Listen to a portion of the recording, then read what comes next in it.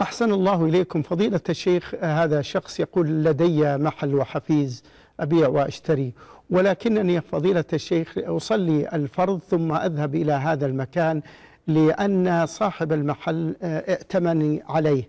هل أصلي التراويح وأترك صاحب المحل؟ لا إذا كنت حارسا في المحل فإنك تصلي في مكانك. تصلي في مكان الحراسة ولا تترك المحل وتذهب إلى الصلاة. نعم.